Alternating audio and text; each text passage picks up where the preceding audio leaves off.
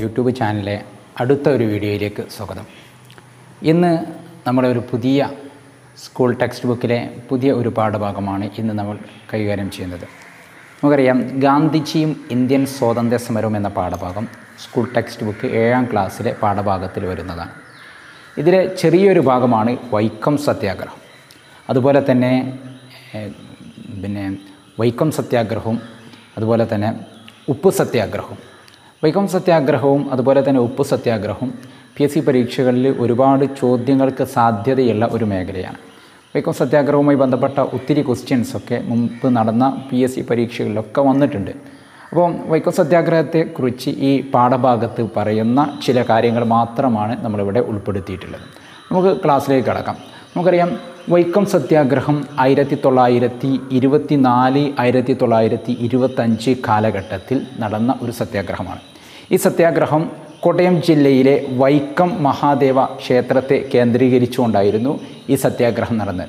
ആയിരത്തി തൊള്ളായിരത്തി ഇരുപത്തി നാലിൽ ആരംഭിച്ച ഈ സത്യാഗ്രഹം അവസാനിക്കുന്നത് ആയിരത്തി തൊള്ളായിരത്തി ഇരുപത്തി അഞ്ചിലാണ് അതുകൊണ്ട് തന്നെ ഇത് അറുന്നൂറ്റി മൂന്ന് ദിവസം നീണ്ടുനിന്ന സത്യാഗ്രഹമാണ്. അറുന്നൂറ്റി മൂന്ന് ദിവസമാണ് വൈക്കം സത്യാഗ്രഹം നീണ്ടുനിന്നത് വൈക്കം സത്യാഗ്രഹത്തിന് വൈക്കം ക്ഷേത്രത്തിന് പുറത്തുള്ള വഴിയിലൂടെ എല്ലാ വിഭാഗത്തിൽപ്പെട്ട ജനങ്ങൾക്കും സഞ്ചരിക്കുവാനുള്ള സ്വാതന്ത്ര്യം ലഭിക്കുന്നതിന് വേണ്ടി നടന്ന ഒരു സത്യാഗ്രഹമായിരുന്നു വൈക്കം സത്യാഗ്രഹം.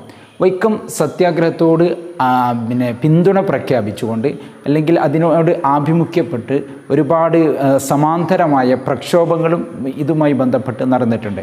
അതിലൊന്നായിരുന്നു സവർണജാഥ. മന്നത്ത് പത്മനാഭന്റെ നേതൃത്വത്തിലുള്ള സവർണജാഥ. ഈ സവർണജാഥ ആരംഭിച്ചത് വൈക്കം ക്ഷേത്ര നടയിൽ നിന്നും തിരുവനന്തപുരത്തേക്കാണ്. തിരുവനന്തപുരത്ത് അത് അവസാനിക്കുകയും തിരുവിതാംകൂർ രാജാവായിരുന്ന സേതു നിവേദനം സമർപ്പിക്കുകയും ചെയ്തു. മഹാറാണി സേതു ലക്ഷ്മിബായിക്കായിരുന്നു സവർണജാഥയുടെ ഭാഗമായി സംഘടിപ്പിച്ച നിവേദനം സമർപ്പിക്കേണ്ടായി.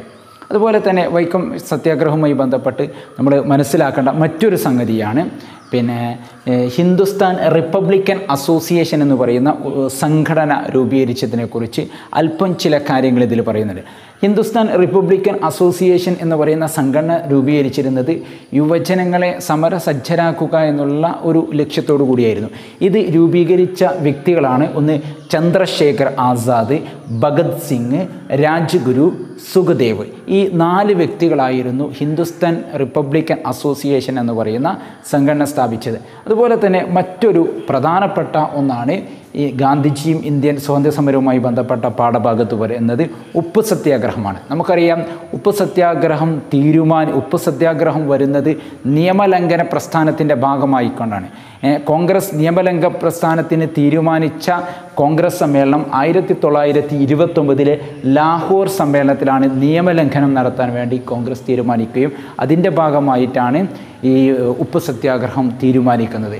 ഉപ്പ് സത്യാഗ്രഹത്തിന്റെ ഭാഗമായി ഉപ്പുസത്യാഗ്രഹത്തിന് വേണ്ടി സബർമതി ആശ്രമത്തിൽ നിന്നും ദണ്ഡി കടപ്പുറത്തേക്ക് ഗാന്ധിജി കാൽനടയായി യാത്ര ചെയ്യുകയായിരുന്നു.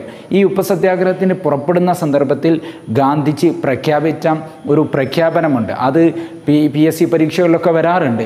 സ്കൂൾ ടെക്സ്റ്റ് ബുക്കിൽ വന്ന ഈ ഭാഗം യു എസ് എസ് പരീക്ഷകളിലൊക്കെ ചോദ്യമായിട്ട് വന്നിട്ടുണ്ട്. ഇതിൽ ഒന്നുകിൽ ലക്ഷ്യം നേടി ഞാൻ തിരിച്ചു വരും പരാജയപ്പെട്ടാൽ ഞാൻ എന്റെ ജഡം സമുദ്രത്തിന് സംഭാവന നൽകുമെന്ന് ഗാന്ധിജി പ്രഖ്യാപിച്ചത് ഈ ഉപ്പസത്യാഗ്രഹത്തിന് പുറപ്പെടുന്നതിന്റെ ഭാഗമായിട്ടായിരുന്നു. അങ്ങനെ ഈ ഗാന്ധിജിയുടെ ഉപ്പ് സത്യാഗ്രഹത്തിൽ എഴുപത്തിയെട്ട് അനുയായികളായിരുന്നു ഗാന്ധിജിയുടെ കൂടെ ഉണ്ടായിരുന്നത്.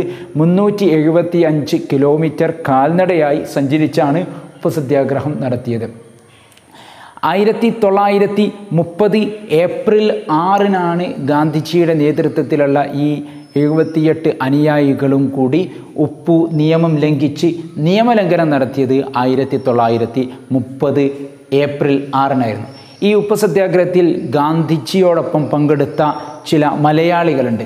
ആ മലയാളികളായിരുന്നു സി. കൃഷ്ണൻ നായർ ടൈറ്റസ് ശങ്കരൻ എഴുത്തച്ഛൻ രാഘവ പൊതുവാൾ.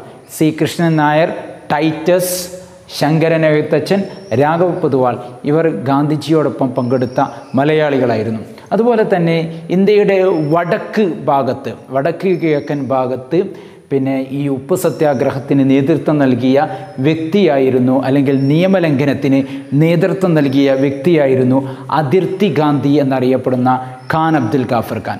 അതിർത്തി ഗാന്ധി എന്ന പേരിൽ അറിയപ്പെടുന്നത് ഖാൻ അബ്ദുൽ ഗാഫർ ഖാൻ. അതുപോലെ തന്നെ ഇന്ത്യയുടെ വ്യത്യസ്ത ഭാഗങ്ങൾ കടലോരങ്ങളെ കേന്ദ്രീകരിച്ച് ഇത്തരത്തിലുള്ള ഉപസത്യാഗ്രഹത്തിന് നേതൃത്വം നൽകിയ വളരെ പ്രശസ്തരായിട്ടുള്ള മറ്റു വ്യക്തികളൊക്കെയുണ്ട് അവരെയൊക്കെ നമുക്ക് അടുത്ത ക്ലാസ്സിൽ നമുക്ക് നമുക്ക് വിശദീകരിക്കാവുന്നതാണ്. അതുകൊണ്ട് നിങ്ങൾക്ക് ഈ ക്ലാസ് നിങ്ങൾ ആദ്യമായിട്ടാണ് കാണുന്നതെങ്കിൽ നിങ്ങൾ ലൈക്ക് ചെയ്യുക ഷെയർ ചെയ്യുക നിങ്ങൾ സബ്സ്ക്രൈബ് ചെയ്യുക. സബ്സ്ക്രൈബ് ചെയ്ത തൊട്ടടുത്ത് തന്നെയുള്ള ബെല്ലൈക്കൺ കൂടി ക്ലിക്ക് ചെയ്തിട്ടുണ്ടെങ്കിൽ ഞാൻ അപ്ലോഡ് ചെയ്യുന്ന ഏതൊരു വീഡിയോസും നിങ്ങൾക്ക് അതിന്റെ യഥാസമയം നമുക്ക് ലഭിക്കുന്നതായിരിക്കും. കൂടുതൽ സ്കൂൾ ടെക്സ്റ്റുമായി ബന്ധപ്പെട്ട കുട്ടികൾക്കാവശ്യമായ ഇപ്പോൾ ഓൺലൈൻ ക്ലാസ്സിന്റെ സാധ്യത നിലനിൽക്കുന്ന ഒരു സന്ദർഭമാണ്. കുട്ടികൾക്കാവശ്യമായ സ്കൂൾ ടെക്സ്റ്റ് ബുക്കിലെ സോഷ്യൽ സയൻസിലെ പാഠഭാഗങ്ങൾ തുറന്നുള്ള എന്റെ വീഡിയോയിലൂടെ ഞാൻ ചില ക്ലാസ്സുകളുമായി കൊണ്ട് മുന്നോട്ട് വരുന്നതാണ്. നിങ്ങൾ അതിനെ സപ്പോർട്ട് ചെയ്യുക എന്ന് മാത്രമാണ് ഈ ഒരു സന്ദർഭത്തിൽ ആവശ്യപ്പെടുന്നത്.